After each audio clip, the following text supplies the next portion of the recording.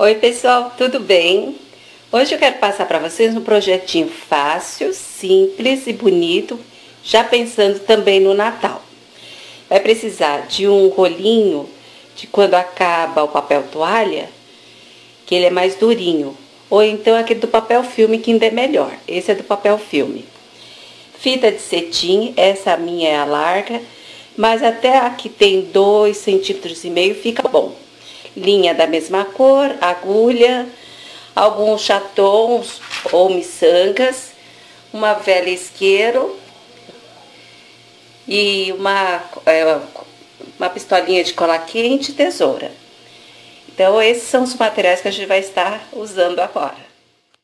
Depois que você escolheu a cor da que você quer, você pode fazer de vários tamanhos, com sete pétalas, pétalas de 7 centímetros e meio. 6 pétalas com 6 centímetros, 5 pétalas de 4 centímetros e meio. Você pode fazer as três e sobrepor uma com a outra. Ou apenas uma ou duas, fica a sua escolha. Primeira coisa que tem que fazer, vai cortar, no caso aqui eu cortei 7 pedaços de 7 centímetros e meio. Agora nós temos que selar essa fita, porque senão ela derrete.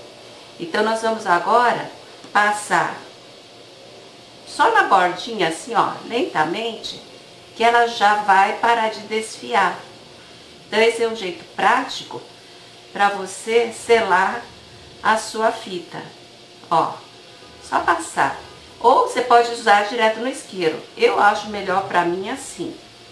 Aí fica a seu critério.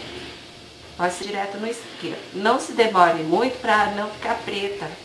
Ó, quando você passa, você já percebe aonde que não queimou. E vai fazer isso com todas. Gente, está selada já as fitas. O que nós vamos fazer? Pega a linha da mesma, na cor, né? Vai pegar um pedaço de 7 centímetros e meio e vai dobrar assim na diagonal, olha. Procura deixar o mesmo tanto que você deixou aqui, aqui também. Precisa ser exato, mas pelo menos mais ou menos, ó, tá vendo? Aí você vira pra esquerda e vai juntar as pontinhas para fazer como se fosse uma casinha. Ó, junta. Então, ó, vai ficar esse biquinho, ó. Tá vendo que ficou uma casinha? Olha lá. Ficou uma casinha. Lado brilhante e o lado fosco. Aí você vai pegar a linha e a agulha e vai alinhar, é, fazer primeiro um arremate aqui para não fugir. Porque depois, quando acabarmos, nós vamos franzir. Pronto. Agora é só alinhavar por dentro e por fora, assim, ó. Faz assim, ó. Tudo bem facinho. Precisa ser o ponto muito juntinho. Sempre deixando as partes juntas, né? E é isso, ó. Já colocamos o primeiro. Vou fazer mais um. Você vai pegar pelo lado fosco, vai dobrar na diagonal, dessa forma, deixando o mesmo tanto que deixou aqui, aqui. Vira para a esquerda, junta as pontinhas, bem juntinhas, para formar uma casinha. Olha só formou a casinha. Aí, novamente, agora não precisa arrematar, só alinhavar, ó. Nós vamos fazer como se fosse um varalzinho, cheio das pétalas. Isso aqui é muito rápido de fazer e fica uma flor tão bonita. Você pode usar em vários lugares que você quiser enfeitar. Ó, mais um. Ó, virou pra, na diagonal vira para a esquerda, junta as pontinhas para ficar uma casinha. Tem que juntar, para que eu não deixe o mesmo tamanho. Ó, virou. É importante que estejam os dois praticamente do mesmo tamanho. Virou para a esquerda, juntou, agora ficou certinho, ó. Ó lá, fez a casinha, vai linhavar novamente. E vai fazendo varalzinho com as sete pétalas. com sete pedacinhos que você vai fazer essa dobradura. Vocês podem ver, ó, em poucos minutos, ó, já foram três. E eu tô bem devagarinho porque eu estou ensinando vocês. Gente, eu vou terminar de pôr e a gente volta na hora de franzir, que também é muito simples. Olha só a casinha, o triângulo. Olha só, pessoal, já coloquei o sete. Agora nós vamos franzir. Agora a gente só vai puxando, ó. Vai puxando. Todas elas, pra ficar franzidinho a fita. Ó, com calma, pra não ter perigo de arrebentar a linha, né? Ela tá dupla, mas mesmo assim precisa ter cuidado. Ajeitando.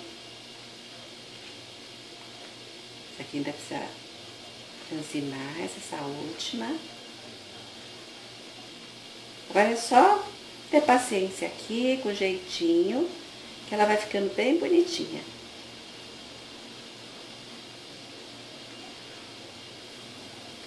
Olha, ó, já vai dando o formato.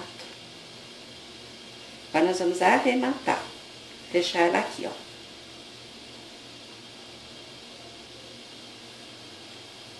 Vou primeiro arrematar desse lado, depois a gente junta as duas partes. Segura para não fugir o franzido, né?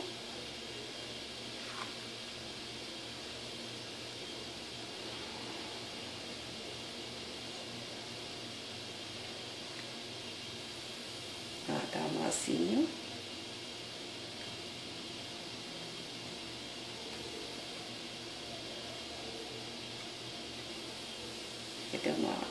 Linha.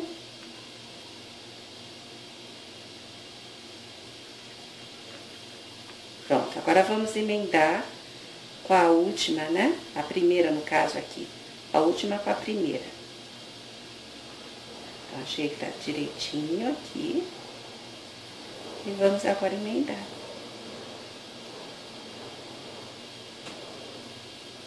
Agora eu tô pelo lado avesso aqui, ó.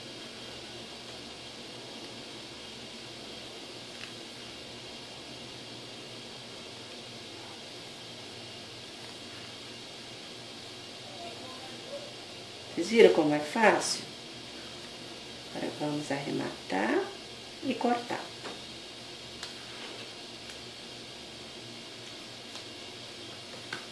Olha só, gente, que bonitinha que fica a flor de fita de cetim. Eu fiz já algumas aqui de outros tamanhos. Olha, então tenho assim, ó. Essa e essa são do mesmo tamanho. Então, você pode fazer dessa forma, ó, sobrepor. Eu acho que fica bem bonita assim, ó, sobreposta. Ainda pode pôr a menorzinha se quiser. Eu acho que se for para pôr num pra um pote, para penteadeira, né, já pensou fazer ela branca ou douradinha, fica muito bonita. Eu quero fazer para o porta guardanapo. Então, o que eu fiz? Peguei esse papel o rolinho do papel filme, cortei e encapei com essa fita aqui, ó.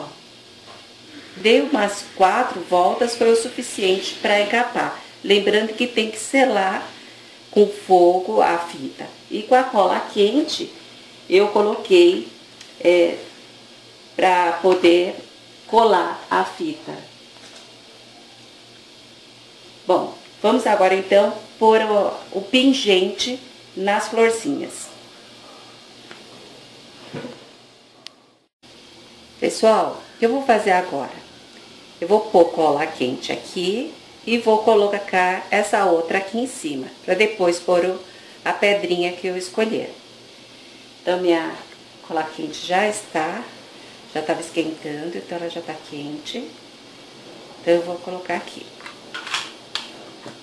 Agora, vamos pôr essa outra aqui.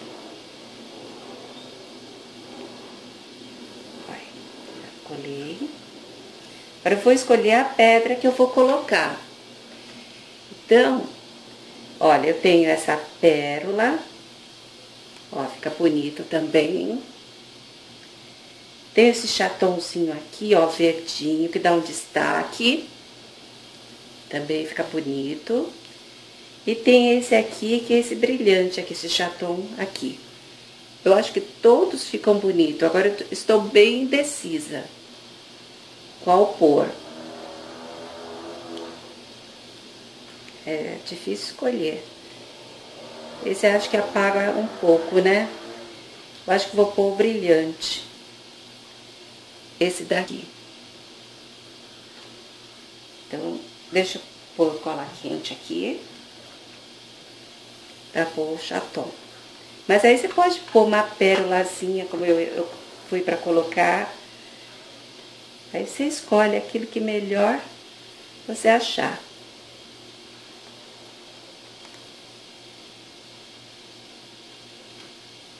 Deixa eu tirar essa cola aqui. Foi cola em excesso.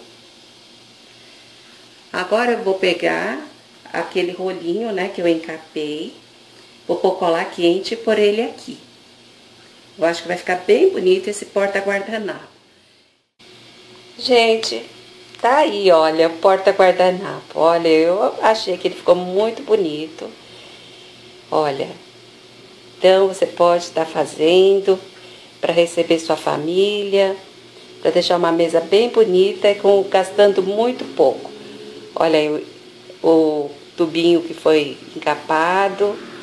E tem aqui um porta-guardanapo muito bonito. E esse aqui, ó, tem aí no canal que eu fiz também, é um jogo americano. É só vocês procurarem na playlist lá, mesa aposta. Porque o canal é dividido em vários temas. Então, mesa aposta, tudo que eu faço para mesa aposta, tá lá. Olha, por exemplo, ó, o vidrinho. Vamos supor que quisesse enfeitar esse vidro aqui, ó. Aí você podia estar tá colocando a fita do jeito que você quisesse. E aí vai da criatividade. Gastei 5 reais com 10 metros é, de fita dessa. Então dá para fazer muita, muita coisa. Então, gente, deixo a dica com vocês, que inspirem vocês a fazer essas coisas bonitas. Tudo que é bonito eu gosto de dividir. Se você gostou, por gentileza, deixe um like. Se você não é inscrito e também gostou, se inscreva, que aqui sempre tem uma novidade para vocês. Gente, eu estou lá no Instagram, sempre postando as coisas que eu faço. Um beijo, fique com Deus e até outro vídeo. Tchau!